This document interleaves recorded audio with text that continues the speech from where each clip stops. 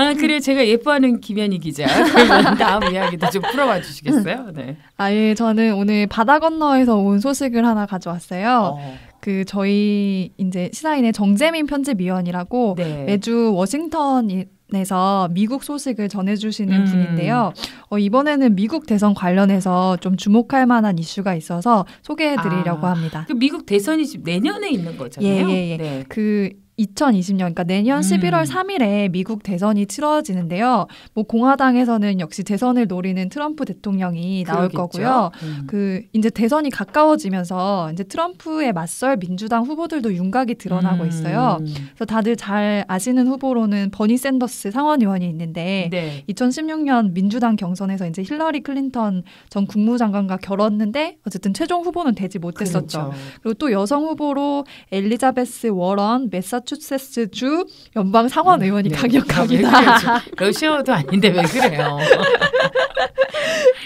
아, 그, 근데 이번에 정말 강력한 후보가 한 명 등장을 했어요. 어. 그래서 4월 25일에 유, 유력한 후보로 이제 한 명이 더 출사표를 던졌는데 어. 누구냐 하면은 바로 바이든 전 부통령입니다. 아. 그래서 그 어, 출마 선언을 하면서 미국의 영혼을 구하겠다. 라는 말을 했는데 이게 무슨 뜻이냐면은 어. 그러니까 트럼프 대통령 취임 이후에, 이후에 구겨졌던 어떤 미국적 가치와 국격을 음. 내가 회복하겠다. 그러면서 출마 선언을 한 거죠. 그렇군요. 이게 바이든이라는 이름이 굉장히 친숙한데 아마 이 오바마 백악관 그 오바마 정부 시절에 백악관에서 부통령을 지냈던 사람이라고 네, 하죠. 네, 네. 오바마 행정부 내내 부통령을 지냈고요. 네. 그 전에는 그러니까 뭐 그 전까지 그 전에는 한국에서는 알려질 일이 없었지만 음. 미국에서는 인지도가 높은 게 네. 임기 6년의 연방 상원 의원을 내리 여섯 번을 했다고 아, 해요. 굉장하네요. 예, 그래서 전국적으로 지명도가 상당히 높은 음. 이제 정치인이라고 할 수 있고요.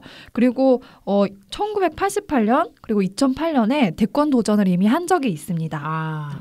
근데 그렇게 되면 이렇게 지지도도 있고 유력한 인물이라면 트럼프 입장에서도 굉장히 긴장하게 될 것 같아요. 예, 예, 예. 그 이분이 성향상 중도 음. 진보라고 해가지고, 그러니까 이 사람이 출사표를 던지니까 민주당 유권자들뿐만 아니라 공화당에 이제 트럼프한테 등을 돌린 공화당 지지자들도 있잖아요. 이게 또 중도가 붙으면 이게 쌍글이잖아요.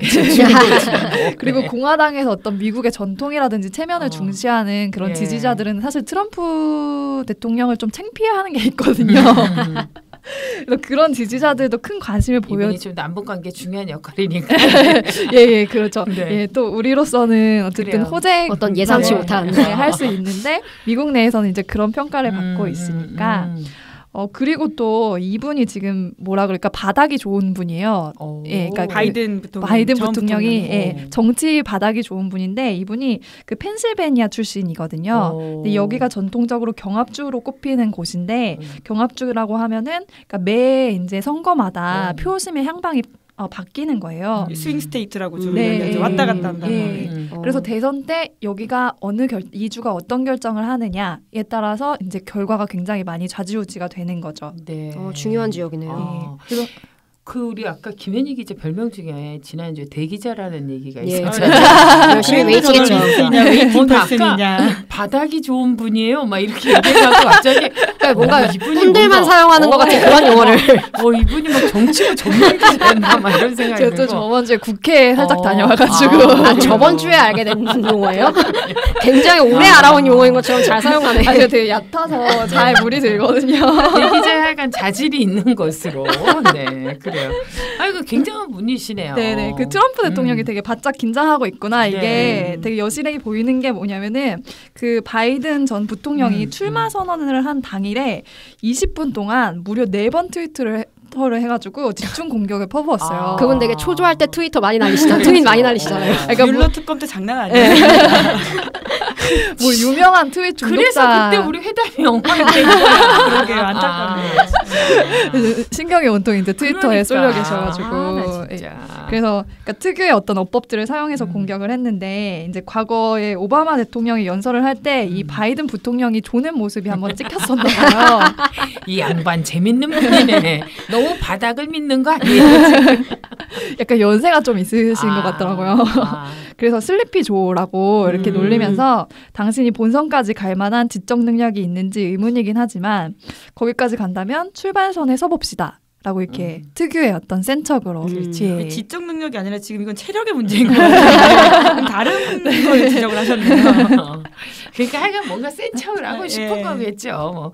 그럼에도 불구하고 이게 미국의 전문지들이 어쨌건 바이든 전 부통령의 당선 가능성을 높게 친다는 게 문제 아니겠습니까? 네, 뭐 음. 어, 대선이 한 1년 1년 6개월 정도 그렇죠. 남았고 민주당 최종 후보도 이제 내년 여름에야 결정이 되지만 예, 예. 지금으로서는 되게 이제 높은 지지율을 얻고 있는데요. 음. 그 미국 현지 여론조사에 따르면은 그 트럼프와 바이든이 가상 대결을 했을 때 오차 범위를 벗어나서 6% 차이로 바이든이 승리를 했다고 오, 하고요. 그래요? 예. 심지어 그 전통적으로 공화당이 강세를 보이는 텍사스 주에서도 1% 포인트 바이든 전 부통령이 앞서는 것으로 음. 나타났다고 해요. 와. 예, 그런데 사실 그렇구나. 여론조사라고 하는 게 참 애매한 게 그렇죠. 트럼프 대통령 당선될 때도 맞아요. 다 트럼프 대통령 당선을 힐러리 클린턴이 다. 당선될 거라고. 네.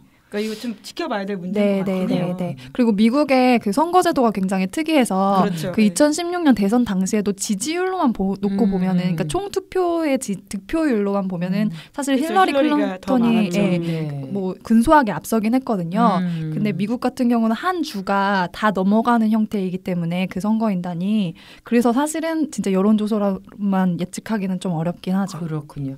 어때 어쨌든 뭐 미국 정치의 영향력이 사실 이제 무시할 수 없기 때문에 우리 남북 관계도 그렇고 아까 이야기한 것처럼 관심을 가지는 이유이기도 한데요.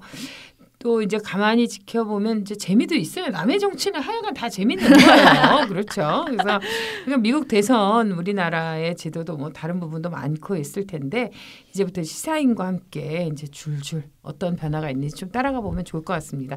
2020년 11월 미국 대선 어떻게 되는지 시사인과 함께 쭉 같이 가시면 좋을 것 같습니다. 요 대목에서 또 시사인 구독과 아, 네. 네. 네. 이게 크게 종이로 보면요 더 네. 잘 읽힙니다. 그럼 예, 예. 꾸준히 그렇죠. 보셔야 돼요. 예, 예, 그렇습니다. 네. 매주 월요일마다 미국에서 또 소식이 온다니까요. 이 시사인을 음. 늘 구독해야 될 여러 가지 이유가 있는 거죠. 팟캐스트도 또 구독 알람 좀 해주세요. 아, 나 아무래도 시사인 그 차영석- 될것 같아요. 아니 차영석 기자 때문에 전염된 것 같아요. 그래요.